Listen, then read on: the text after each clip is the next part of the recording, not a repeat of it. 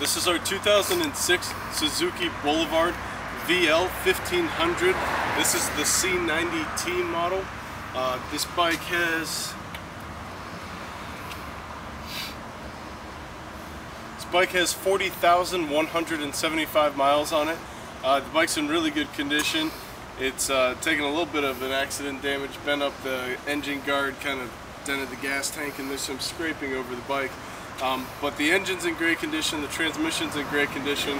Um, the only problem with the bike is we've got underneath this cover an air sensor's messed up and is shorting out, so it's throwing the F1 code on us.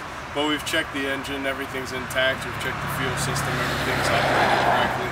Uh, we're going to go ahead and start the bike up, let it idle, and then we'll take it out on the road here and put it through the gears. Uh, we got it on the jump cart because it's a little cold this morning.